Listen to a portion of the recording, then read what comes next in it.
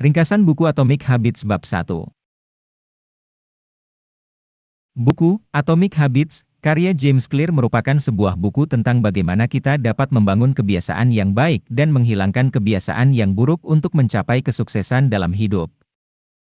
Pada bab 1, Clear mengajarkan bahwa kebiasaan-kebiasaan yang kita miliki saat ini sangatlah penting karena kebiasaan tersebut akan membentuk identitas kita. Ia mengatakan bahwa identitas yang kita miliki, seperti saya adalah seorang atlet atau saya adalah seorang penulis, dibentuk oleh kebiasaan-kebiasaan kecil yang kita lakukan setiap hari. Clear mengatakan bahwa kita dapat mengubah identitas kita dengan merubah kebiasaan-kebiasaan kecil yang kita lakukan setiap hari. Kebiasaan-kebiasaan kecil ini tidak terlihat signifikan pada awalnya, tetapi jika kita melakukannya secara konsisten, maka kebiasaan-kebiasaan tersebut akan membentuk identitas kita.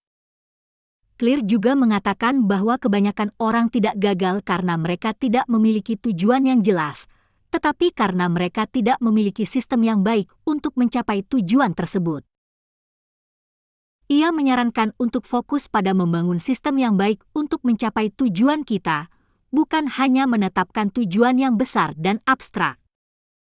Intinya, bab 1 Atomic Habits mengajarkan pentingnya kebiasaan kecil dan bagaimana kebiasaan-kebiasaan tersebut membentuk identitas kita. Clear juga menekankan pentingnya membangun sistem yang baik untuk mencapai tujuan kita.